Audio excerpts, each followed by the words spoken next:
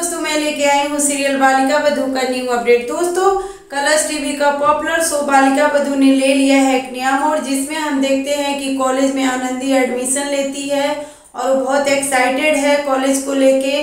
और first day उसका college रहता है, आनंदी एंट्री करती है।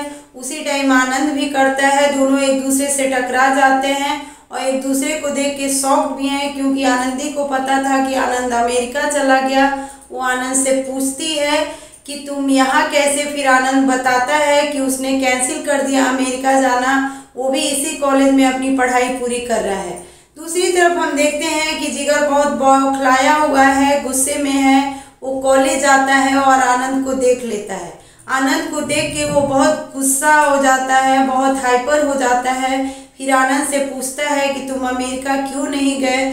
क्या अमेरिका वाले तुम्हें वहाँ पे नहीं लिए। फिर आनंद बोलता है कि नहीं, यहाँ पे छोड़ दिए ताकि तुम्हारे जैसे लोगों को मैं सीधा कर सकूँ। इसी दौरान दोनों में फाइट होने लगती है।